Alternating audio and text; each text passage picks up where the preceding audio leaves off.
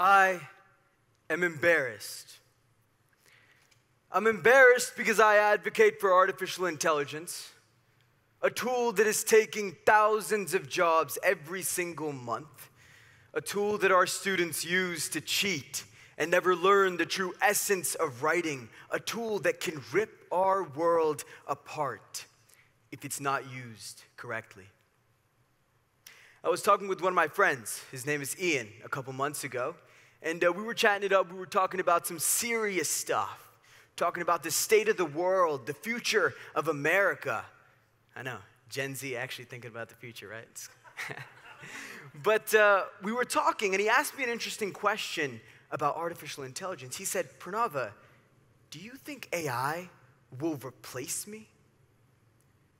And it's not just him. Hundreds of students that I've worked with across the nation have asked me that same question. They're scared that AI will take them and their future careers. And I'm embarrassed that the very tool I advocate for is causing students to worry like this. Now, I'm embarrassed, but I'm also determined. I'm determined to find a solution to this problem. And a few weeks ago, I think I found what I was looking for. See, I was talking with one of my mentors, and she said something very interesting in our conversation about artificial intelligence. She said, Pranava, I think we have to learn and master a different form of intelligence. And I'm over here thinking, what? There's only one type of intelligence, right? What are you, what are you talking about? And she said, she went on, she said, in the 1900s, there was physical intelligence. You had to be strong, you had to be skilled in a certain craft, and that's how you provided value to society at large. However, with the rise of automation and robotics, we've now shifted to mental intelligence.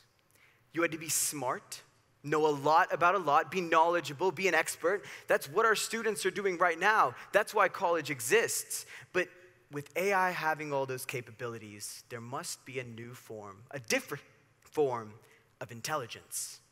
And I believe it is emotional intelligence.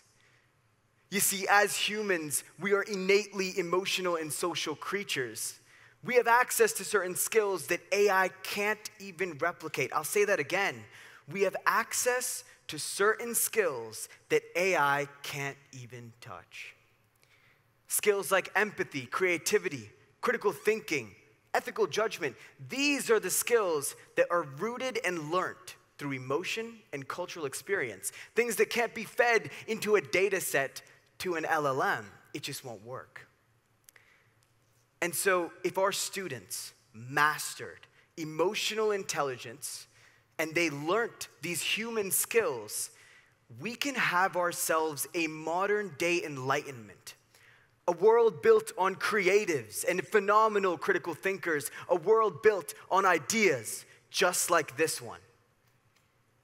That is where we're headed. And I firmly believe that every single school in the world should have access to an AI course and an artificial intelligence course, along with emotional intelligence, to really allow students with this path forward. Because I believe that if if students can learn these skills and they can master emotional intelligence, then not only will they beat AI, we will thrive in this artificial age.